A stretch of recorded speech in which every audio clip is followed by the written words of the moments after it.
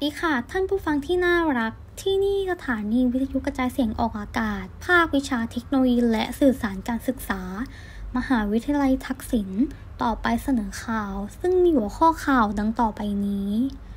วงการหนังเศร้าสุรศรีผาธรรม ผู้กำกับภาพยนตร์คูบ้านนอกเสียชีวิตแล้ว เร่งสร้างภูมิต้านทานโควิด ผู้สูงอายุต้อนรับสงกราร พรบกยศฉบับแก้ไขมีผลบังคับใช้แล้ว ลดเบี้ยปรับเหลือ 0.5%โดยไม่ต้องมีผู้ค้ำชวนเที่ยวงานว่าวนานาชาติ ต้อนรับลมร้อนจัดที่ดีไซน์วินเลสเกษตรนวมิน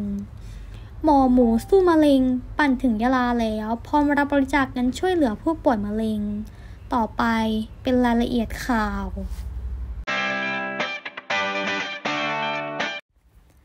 เหลือไว้เพียงตำนาน วงการหนังสุดเศร้า สุรศรีผาธรรม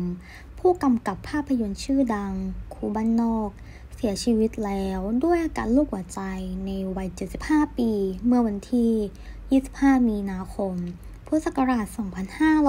2566 มีรายงานว่าเมื่อช่วงเช้าที่ผ่านมาแฟนเพจ Facebook ในจังหวัดอุบลราชธานีได้โพสต์ข้อความแสดงความเสียใจต่อการจากไปของนายสุรศรีผาธรรม ผู้กำกับภาพยนตร์ชื่อดังชาวบนราชธานี ซึ่งเป็นการจากไปอย่างกระทันหัน พอเพิ่งมีการจัดมุทิตาจิต 75 ปี ของนายสุรศรีผาธรรม เมื่อวันที่ 17 มีนาคมที่ผ่านมาณหอประชุมสาราแสนสุข โรงเรียนเทศบาลแสนสุขอำเภอวารินจังหวัดอุบลราชธานี ทั้งนี้ จากการสอบถามคนใกล้ชิดเบื้องต้นทราบว่า นายสุรศรีมีอาการป่วยด้วยโรคชาราหลังจาก งานจัดมุทิตาจิต 75 ปี ก็ได้ไปตรวจสุขภาพตามปกติ โดยหมอให้กลับมาพักที่บ้าน จนกระทั่งเวลาประมาณ 23 นาฬิกาของวันที่ 24 มีนาคม นายสุรศรีก็ได้เสียชีวิตด้วยอาการโรคหัวใจในวัย 75 ปี ซึ่งกำหนดการพิธีศพจะแจ้งให้ทราบต่อไป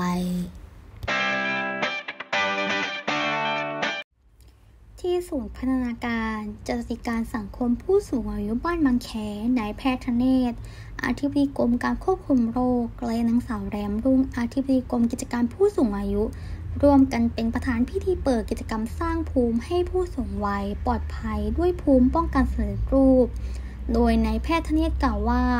การรับภูมิป้องกันสำเร็จรูป เป็นการสร้างเสริมภูมิป้องกันต่อเชื้อโควิด -19 ที่มีประสิทธิภาพในกลุ่มเป้าหมายที่มีภูมิป้องกันต่ำได้แก่ ผู้สูงอายุและผู้ที่มีภูมิป้องกันบกพร่อง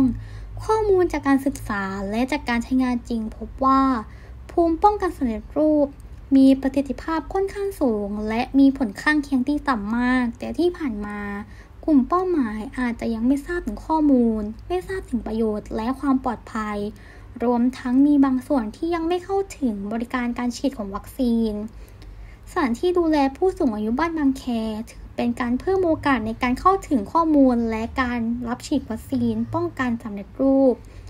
รวมถึงเป็นต้นแบบของการดำเนินกิจกรรม ให้บริการฉีดวัคซีนป้องกันสำเร็จรูปในเชิงรุก ในสถานที่ดูแลผู้สูงอายุ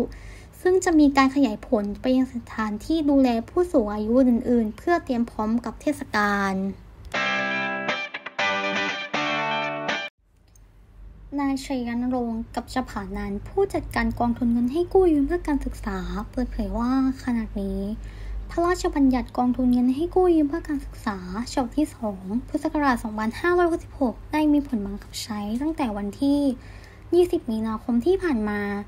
มีสาระสำคัญคืออัตราดอกเบี้ยเงินกู้ไม่เกิน 1%ต่อปี กรณีผิดนัดชำระจะลดอัตราดอกเบี้ยปรับเหลือไม่เกิน 0.5%ต่อปี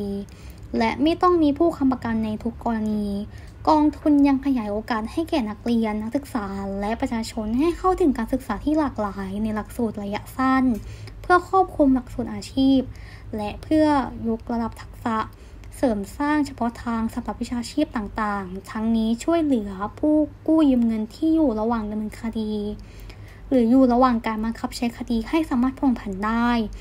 การชำระเงินคืนและการปรับสร้างโครงหนี้หรือแปลงหนี้ใหม่ตามเงื่อนไขคณะกรรมการกองทุนกำหนด เชิญชวนเที่ยวงานว่าวนานาชาติ ต้อนรับลมร้อนจัดที่โครงการ Design Village เกษตรนวมินทร์ Community ในกรุงเทพ โดยภายในงานมีการจัดแสดงว่าวและการสาธิตการแข่งว่าวจุฬาปะทะปักเป้า โดยนายสารโรธกรรมการผู้จัดการบริษัทบุญถาวรเอ็กเซนจำกัด และผู้บริหารโครงการ Design Village กล่าวว่า เพื่อเป็นการต้อนรับลมร้อน โครงการ Design Village เกษตรนวมินทร์ Community เชิญชวนเที่ยวงานว่าวนานาชาติ เทศกาลคนคลั่งครั้งที่ 2 และพร้อมชมการแสดงว่าวจากทีมไทยแลนด์ นักบินว่าวมืออาชีพ ทั้งนี้ในงานมีการยกประหลัดว่าวมาไว้ในที่เดียว เพื่อให้คนรักว่าวได้เลือกสรรว่าวได้อย่างถูกใจ นอกจากนั้น ยังมีกิจกรรมการแสดงว่าวจากทีมไทยแทน ตัวแทนจากประเทศไทย ซึ่งเคยไปแสดงว่าวมาแล้วหลายประเทศทั่วโลก และมีการจัดแสดงการดอกแบบว่าวแปลกตาที่หาชมได้ยาก เช่นว่าวถุงลมแฟนซีนสร้างสรรค์เป็นรูปต่างๆ อาทิเช่นว่าววานปลากราบยักษ์ ฉลามวานปลาทองยักษ์ และยังไปถึงคาราวานว่าวแฟนตาซีอีกหลายประเภท หมอหมูสู้มะเร็งปั่นจักรยานถึงยะลาแล้ว พร้อมรับบริจาคเงินช่วยเหลือผู้ป่วยมะเร็งยากไร้เผย ล่าสุดมียอดบริจาคทั้งหมด 1 1 9 7 6 5 6 บาท เมื่อวันที่ 24 มีนาคม พุทธศักราช 2566 นายแพทย์อนิรุตนิรนาถหรือหมอหมูศัลยแพทย์มะเร็งวิทยาผู้เชี่ยวชาญด้านมะเร็งเต้านม ผู้ริเริ่มโครงการปั่นจักรยานลมทุนทั่วประเทศทั้ง71จังหวัด เพื่อช่วยเหลือผู้ป่วยมะเร็งยากไร้ที่ได้รับความลำบากและขาดแคลนฐานะด้านการเงินตามโรงพยาบาล 9 แห่งทั่วภูมิภาค และเพื่อถวายเป็นพระราชกุศลให้แก่